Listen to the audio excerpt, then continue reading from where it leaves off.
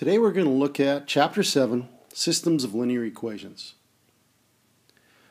Today, 7.1, is about learning how to develop systems of linear equations and to verify solutions. Today's lesson was not going to include how to solve systems of linear equations. We're going to do that in the next lesson, 7.2. Let's look at a problem. The school district has buses that carry 12 passengers and buses that carry 24 passengers. The total passenger capacity is 780.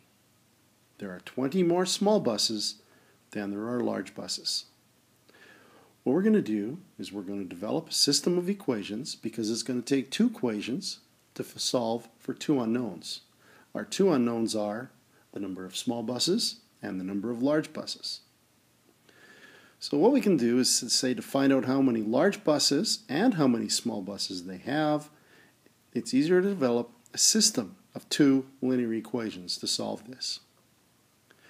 If we let x be the number of small buses and we let y be the number of larger buses, we can set up a couple of different scenarios. We can first of all say that 12 times the number of small buses plus 24 times the number of large buses is going to equal a total capacity of 780. Secondly, if we said that there's 20 more small buses than larger buses, we can say x would equal y plus 20. There's, this is called a system of linear equations. We have two equations with two unknowns. The solution to a linear system is to find one value for x and one value of y that's going to work in both equations. Now let's say we're told that there's 15 large buses and 35 small buses. In order to prove this, we need to verify this. So we're going to take our two equations and substitute 15 or 35, I'm sorry, for x and 15 for y. So 12 times 35 plus 24 times 15, we have to show that that is going to equal 780, and it is. Secondly, x is equal to 35 has to equal 15 plus 20, and that also verifies. So we've shown through verification that the solution to this system of equations is x equals 35 and y equals 15. Let's look at another problem. Here we have two different scales. These balance scales illustrate the two different sizes of bags of rice.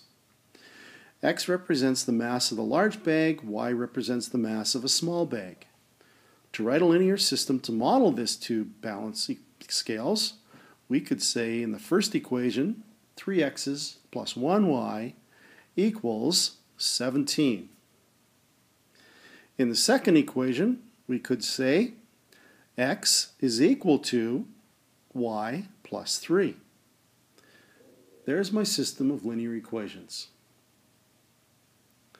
In example 1, here we have a diagram modeling a situation.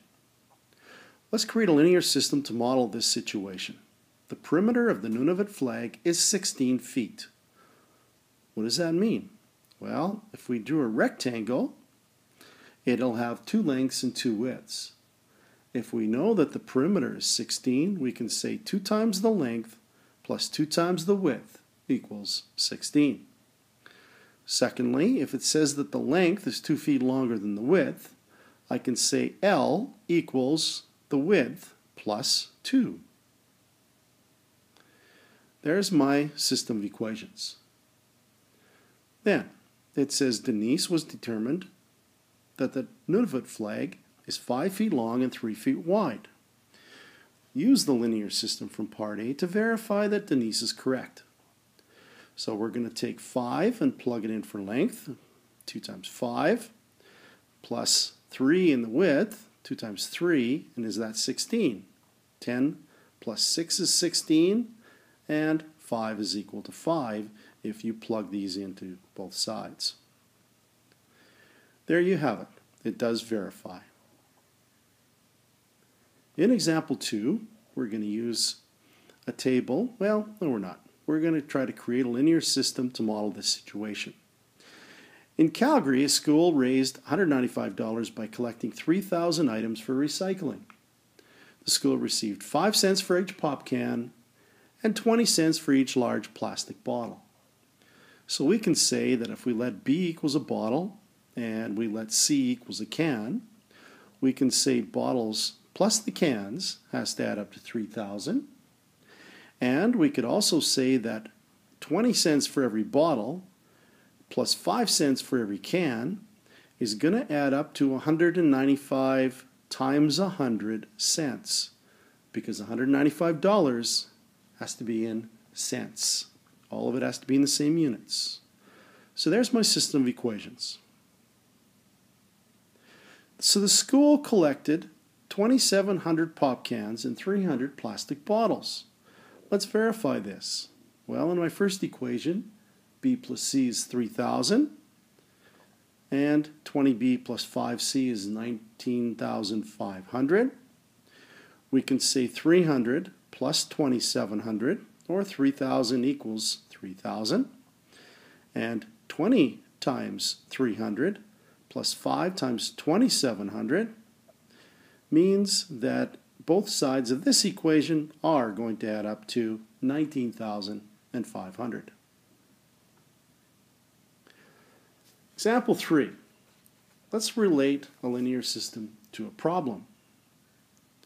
Store sells wheels for roller skates in packages of four and wheels for inline skates in packages of eight. Create a situation about wheels that can be modeled by the linear system below. Explain the meaning of each variable and write a related problem. Well, what can we say? 8i plus 4r equals 440.